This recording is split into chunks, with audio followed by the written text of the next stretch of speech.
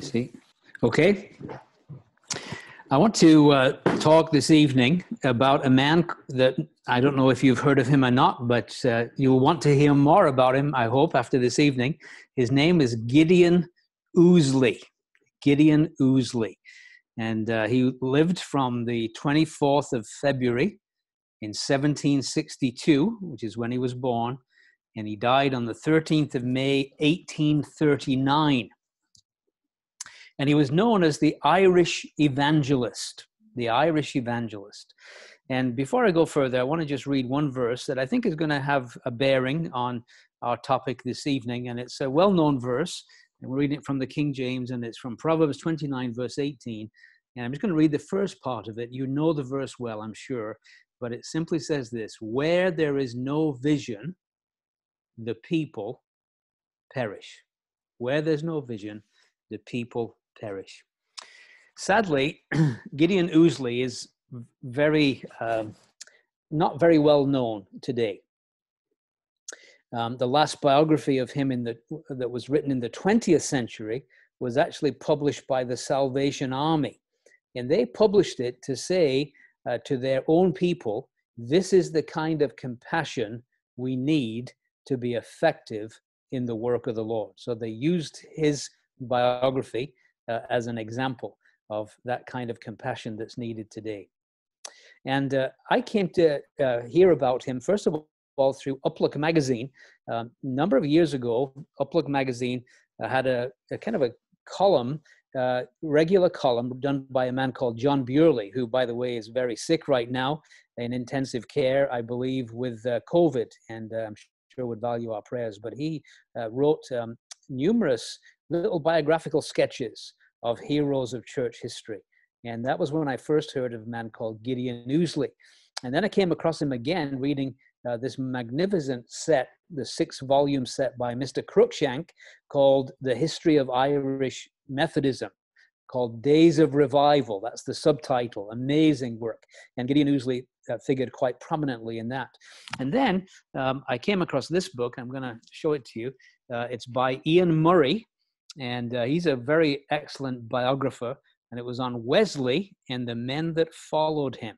And so he does a little biography of Wesley, but mainly it's the what happened after Wesley. Who were the men that kind of moved the work forward after he passed away? And so Gideon Ouseley uh, figures quite prominently in that book as well. So, what do we uh, think about him? Well, first of all, this is what uh, people have said about him he was one of the truest lovers of the Irish people who ever lived. Now, that's quite a compliment, isn't it? One of the truest lovers of the Irish people who ever lived. It was said of him, amongst all the eminent men raised up by God in Irish Methodism, I doubt if any other was ever so successful in winning souls to Christ as Mr. Ouseley. Another writer states he was one of the most successful and the illustrious evangelist who ever proclaimed Christ to perishing sinners. So, obviously, high recommendation from people uh, that knew about him or knew him. So, what is the background? Well, I want to kind of step back a little bit and I want to talk about Mr. Wesley, John Wesley, in Ireland, just to kind of set the scene. Although Methodist work in Ireland actually began in 1746 through the labors of a man called John Cennick. And uh, I'm not sure if you would know John Cennick, but uh, the hymns of worship and remembrance, uh, the hymn number 40, Brethren, let us join to bless Jesus Christ, our joy and peace. Well, John Cennick wrote that hymn and many others, but that's the only one we have in our hymn book. But uh, he was the first man really to labor uh, for the Methodists in Ireland in 1746. Mr. Wesley uh, came to visit Dublin in 1747. And the work in Ireland became one of his enduring concerns. Uh, it was a real burden on his heart. He was burdened about Ireland and the gospel for Ireland. And he made 21 visits, did Mr. Wesley, in his lifetime. And when you add up the length of those visits, he actually spent six years of his life preaching the gospel in Ireland. You know, when you just add up all the 21 visits and the length of time he spent there. And one of the things that he did say was this he said, Have patience, and Ireland will repay you. Now, I want you to keep that in your mind. Have patience, and Ireland will repay you. And we're going to see towards the end of this message just exactly how that uh, statement by Mr. Wesley became very true. Have patience, Ireland will repay you. the challenge for, of Ireland was reaching the native Irish. There's always been, and you probably have heard of many Irish preachers, but most of them were descendants of English and Scottish settlers. Uh, so even uh, dear brother Mercer that joins us, uh, again, he lived in Ireland, but he was a descendant of either English or Scottish settlers. I think perhaps Scottish, I'm not sure. Uh, but uh, and and those were traditionally Protestant, and they were more open to the gospel. But reaching the native Irish was a huge issue. How do you reach these people? They spoke a different language. They actually Gaelic was their first language, their heart language. And Mr. Wesley stated that at least 99 out of 100 of the native Irish remain in the religion of their forefathers. So only one in a hundred would break out of the Catholicism that dominated the Irish landscape. And he criticized the state church, the Church of, of, of Ireland, or Church of the Anglican Church, as we would know it. And what he said is when the Protestants can find no better way to convert the Catholics than through penal laws and acts of parliament, we have a serious problem. And of course, they did. They tried to use the state to punish the, the Catholics for carrying on their religion and also uh, acts of parliament forbidding them to hold mass and all these things. And it actually caused more resentment towards the gospel than love to, to the gospel. And also no, no uh, friendship of England who were passing these laws. So the, the situation uh, as far as Wesley was concerned, could only change when the people learned of a ministry more holy and more wise than their own. He said that's what they need a ministry more holy, more wise than their own. And the Methodists, although unordained and certainly very untraditional in their day in the way that they went about their business, they were men who were anointed of the Holy Spirit and the truth of their message they drove home with great power and great effect. And in a very real sense, they did more for the evangelization of the Irish than any other group up to this point in history. In fact, by the time of Wesley's death in 1791, remember he visits in 1747, has a burden for Ireland. By 1791, there were 75 fearless Methodist evangelists who were going across the landscape preaching the gospel of Christ, uh, salvation through the finished work of Christ and Him alone. And by 1800, the Methodist Conference could report revival in the west of Ireland. You know anything about Ireland, the more west you go, the more Catholic it is. Part of the reason for that is Oliver Cromwell, uh, when he uh, conquered Ireland, he, drove the Catholics, as he said, to hell or to Connaught. So you either kill them or you drive them to the west, which was a very barren landscape. He said it was so barren. Uh, he said there was, there's not enough wood to hang a man, not enough water to drown a man, and not enough clay to bury a man. So he drove the, the Catholic population to the west of Ireland. And so the west was very difficult to reach because it was persecuted people and people who found comfort and consolation in their religion in all this opposition and persecution. But now there's 75 of these fearless evangelists, and they're seeing revival even in the west of Ireland. And that's where our man Gideon Ouseley comes into the story. So I want to give you a little bit of his family background and his connection. He was born in a place called Dunmore in County Galway. Now, my wife is from County Galway. In fact, a 50 minute drive away or 66 kilometers from Dunmore is where my wife was born, 40 miles away for those that speak English. Uh, and um, that's where she was born. Uh, his background had prepared him to become a bridge between the divided communities in that land. In name and in genes, and I'm not talking about Levi's or Wranglers, but you know the genetic things. Uh, in genes, uh, he was English. His ancestors had come over from Northampton in England 100 years previously. However, where he lived in the west of Ireland and a lot of his pals and friends and the circumstances of his upbringing, uh, he was among Irish speaking country people all the time. And he was, in many ways, in his ways and character, as Irish as his Connaught brogue was. Uh, and he had a great sympathy for the oppressed and poor majority of the Irish people. His father was a deist uh, the deists believe that God exists, but he basically uh, kind of set the world in motion and then went in the back room uh, just to, to read or do whatever he did and just left everything to man to figure out and not really directly involved in the affairs of men.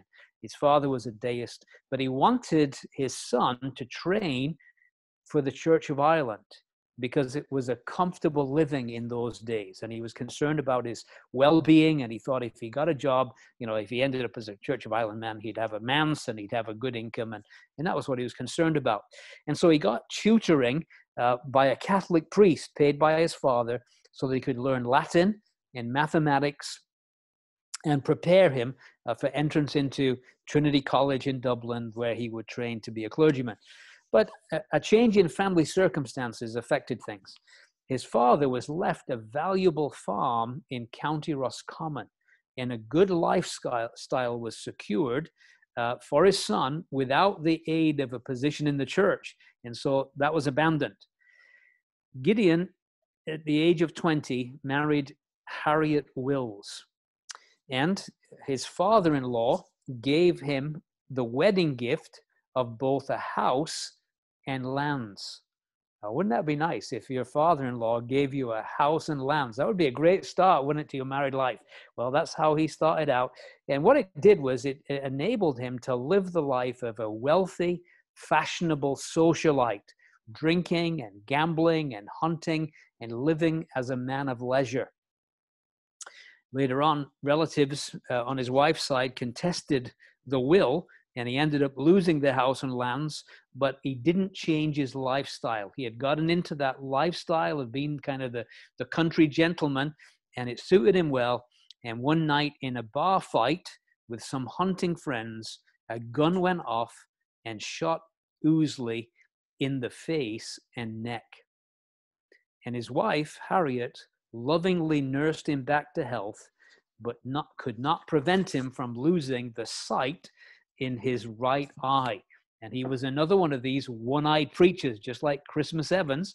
And apparently, uh, as a result of the scarring from the gunshot wounds and everything, he looked a pretty mean character. Uh, as a result of his scars and so on and so forth. But his wife saw that he needed more than just a physical recovery. And uh, she began to read to him. And she had a book, it was a book of poetry by a man called Edward Young, and it was called Night Thoughts. And a lot of these poems were uh, kind of very different to today's poetry, were about death and eternity.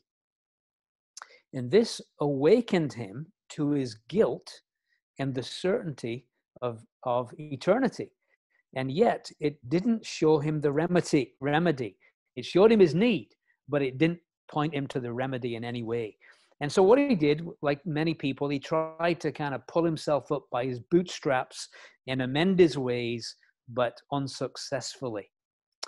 But in 1791, something really unusual happened in Dunmore, County Galway. He had gone back there after losing the house that had been left to him, and now he's living in Dunmore. And the fourth Royal Irish Dragoon Guards were at that time occupying the local barracks. Remember, uh, basically, uh, Britain are occupying Ireland. They've got barracks everywhere. You still go there today. You can see the barracks in most cities uh, in order to uh, quell any rebellion or whatever. So 1791, uh, these I- Royal Irish Dragoon Guards were there.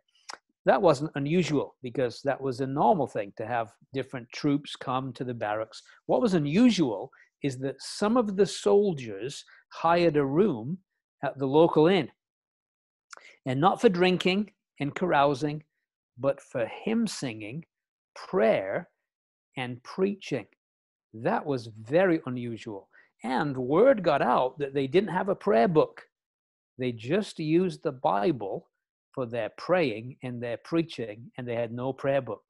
And that got his attention. In fact, out of curiosity and maybe even suspicion, Gideon Ouseley went to the inn, not for the usual purposes, but to, out of curiosity about these soldiers and their activities. And he heard a captain uh, of the dragoons preach a gospel message on Isaiah chapter 1, verse 18. Come now, let us reason together. Though your sins be as scarlet, they shall be as white as snow. Though they be red like, uh, like, like crimson, they shall be as wool. And so, beautiful uh, verse. And uh, God invited him to receive mercy through the preaching of this man. Uh, and uh, he, he did have a clear view of eternity, uh, of being cast into everlasting misery, never ever to be released. But he, he began to think about the cost of following Christ.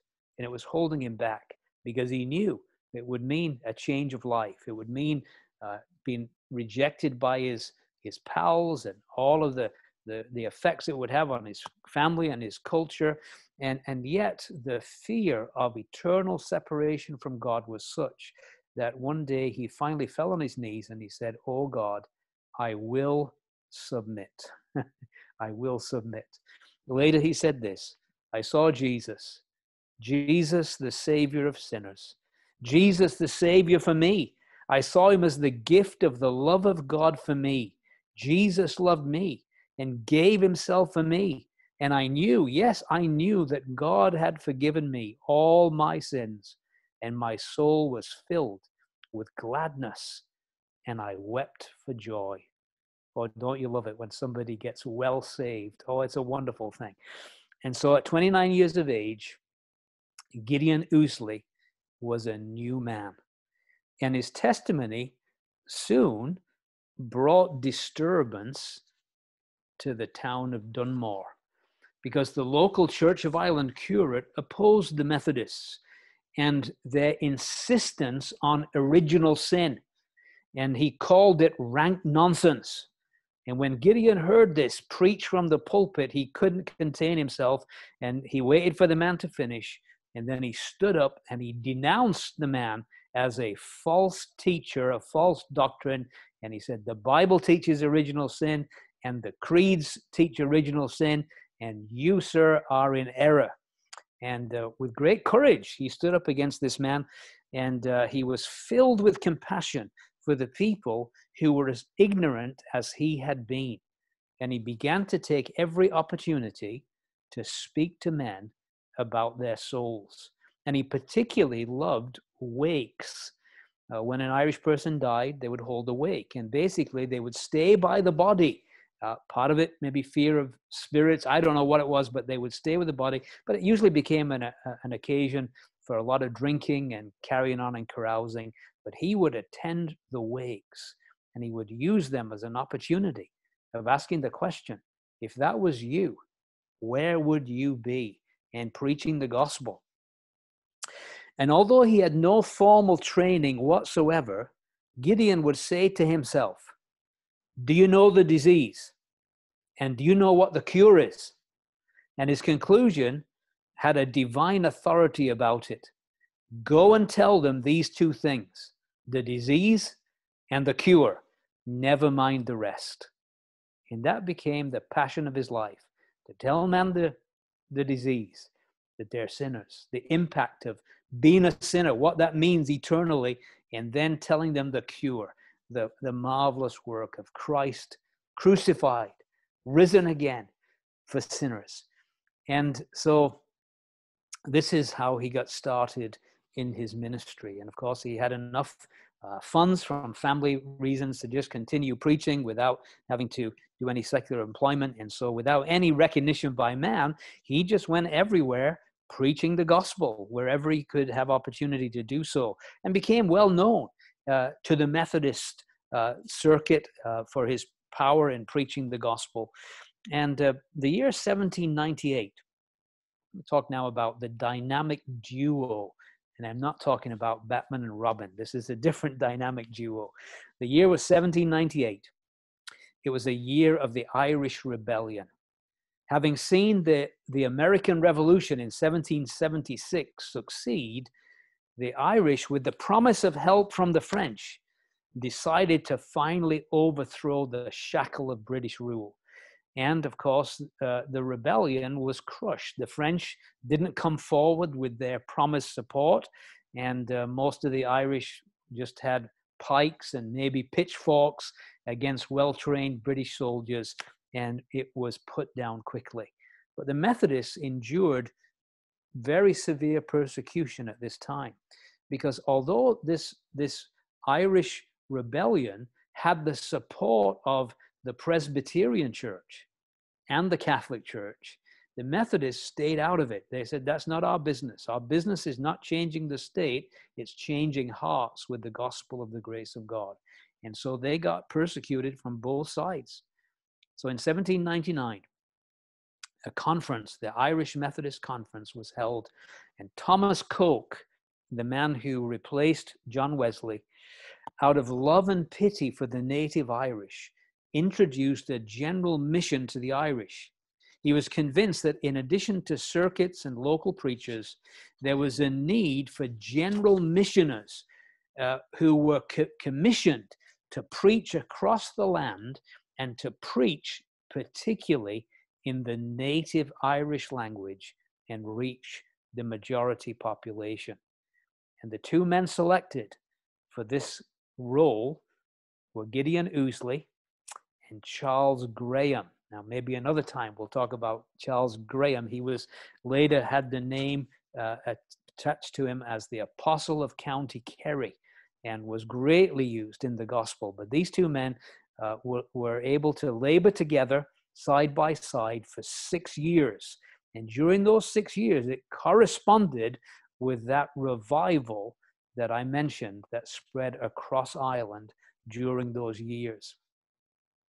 Gideon Ouseley, when he heard the news of being selected for this role, he was happier than if he had been given a small fortune. So thrilled was he at the privilege of taking the gospel to the native Irish people. And so these men labored together.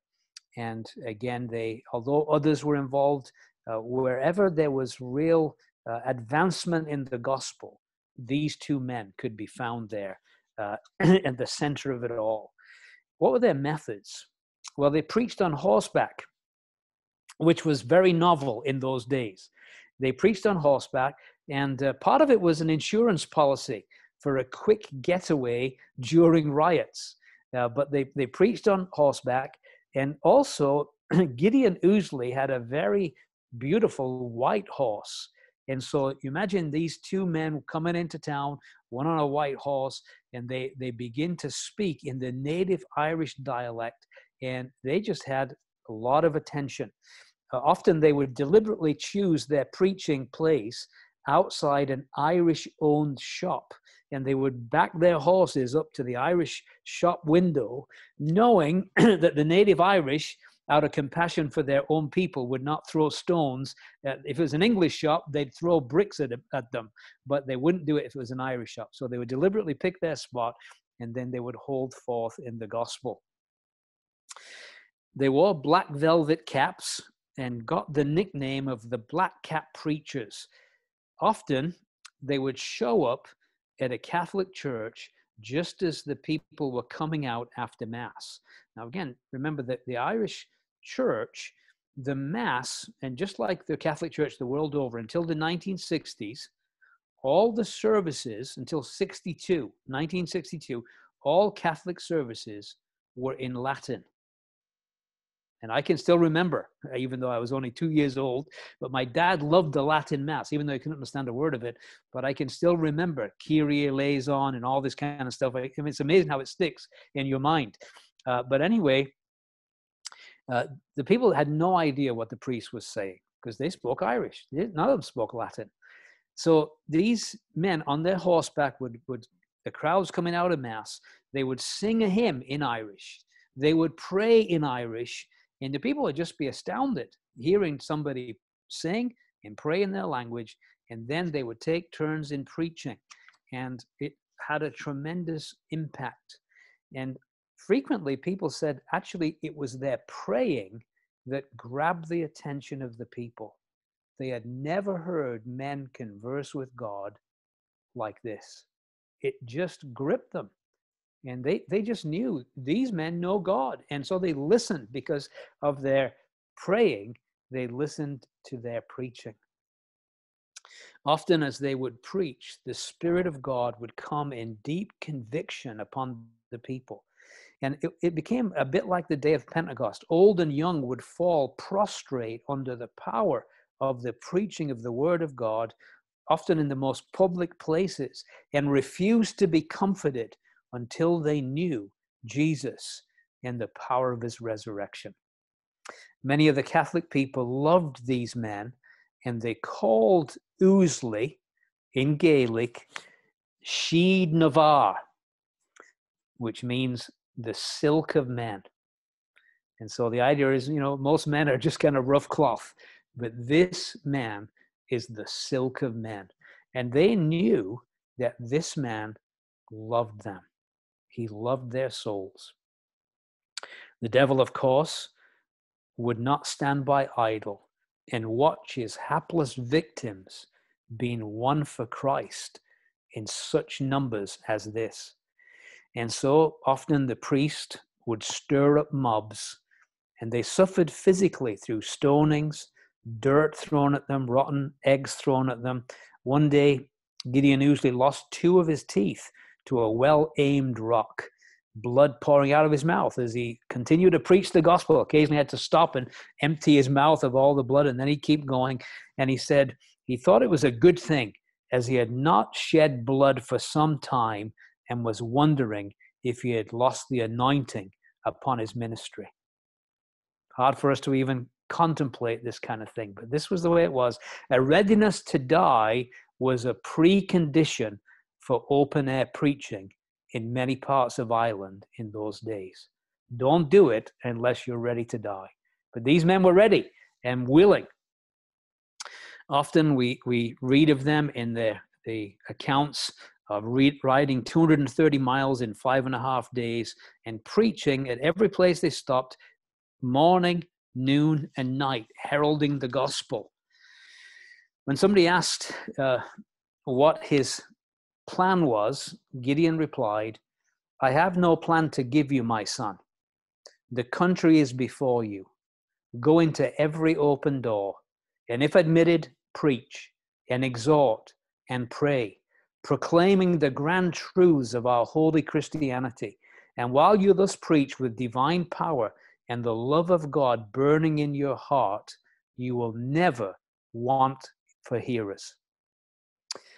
But he did have a, a style and he did have a plan. He had a what was called, and the Methodists were very good at this, what they called an interrogatory style using questions to awaken interest and attention. Uh, they didn't assume that people were interested in their message. And so they would use questions to get people interested. So, for an example, uh, speaking to a hostile Catholic crowd, uh, Ouseley would say this The Virgin had the best religion in the world. Of course, speaking of the Virgin Mary. The response would come from the cl- crowd What do you know about the Blessed Virgin? We don't want to hear a word. More than you think, said Mr. Ouseley. I'm sure you'll be pleased with what I am about to tell you if you will only listen to me. He then proceeded to give the account of the wedding in Cana of Galilee, and from the word, Whatsoever he saith unto you, do it, he would then point them to the words of Christ, you must be born again. So, this was the kind of thing he did. Uh, in personal evangelism, very, very effective. Uh, one day there was a pilgrim visiting one of the holy mountains in Ireland, a place called Croagh Patrick. And apparently, pilgrims would climb there barefoot. uh, to try and earn merit before God. And so one day he is walking along with a pilgrim and he asks him, Why are you here? And uh, the man replied, I want to find God. and so Gideon says, What part of the mountain do you expect to find God on? The pilgrim confessed, uh, I never thought of that. And so he assured the man that God is everywhere. And he, he had as much opportunity to find God at home in his cabin as to travel 80 miles and start climbing a mountain because God is everywhere. The man returned home, at least well instructed in the gospel, and vowed he would never go on another pilgrimage. And this is the kind of methodology of Gideon Ouseley. But perhaps the one that thrills me the most is that often he would go to the Catholic Mass. He'd just show up like Elijah. And as the priest was saying Mass in Latin, anything that the priest said that was biblical, and that's the problem with Catholicism, there's got a little bit of Bible in there, but there's a lot of traditions that kind of, so anything biblical, he would translate into Irish and say, now think about that. And so basically, he would preach through interpretation anything scriptural, and then he would exhort the people afterwards and then leave just as quickly as he arrived. And uh, Ouseley won many a Catholic soul to the Savior through simply explaining the gospel in those kind of ways. He could not be satisfied in holding any meeting unless souls were brought to God. At 75 years of age, we find him preaching 36 times in 16 days, eight of those being in markets and in streets. So, what can we learn about revival from this man and this movement? The theory of the Methodists is that no training for the work of God is like training in it. No training for the work of God is like training in it. In other words, the best way to learn about evangelism is to do evangelism.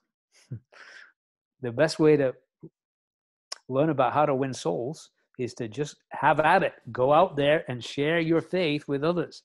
And that's how they operated.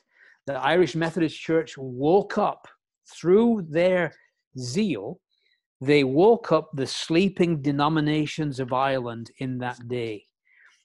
This is written from these other denominations Presbyterians, Anglicans, they said, the Methodists showed us how to labor, how to live, how to give, and how to suffer for Jesus and his cause.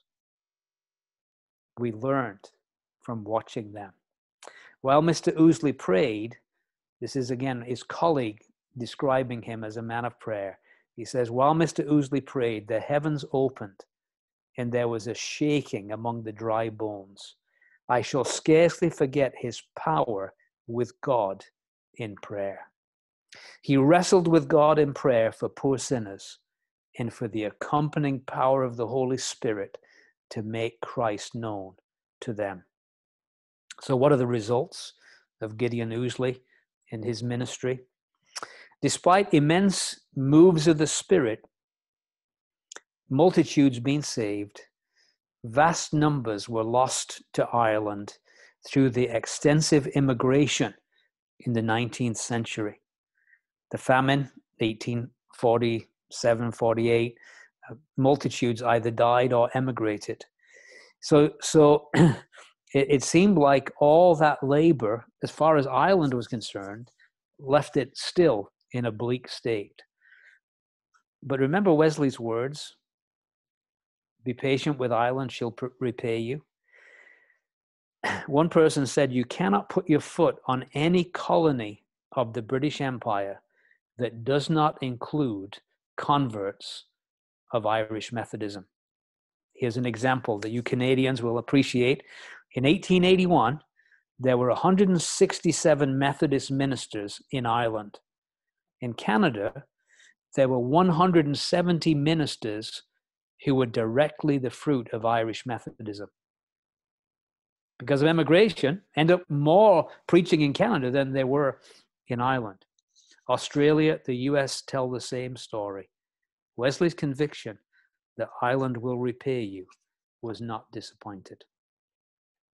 And so that is the challenging, I think, story of Gideon Ouseley, a man who had a passion for souls, a man who loved to preach where the gospel had not gone before, to people who had never heard it before, and to do it in a way that was so compelling that he had their undivided attention. And I'd say, Lord, raise up a new generation of effective evangelists who can reach our generation here and, of course, not forgetting Ireland and Europe as well. Amen.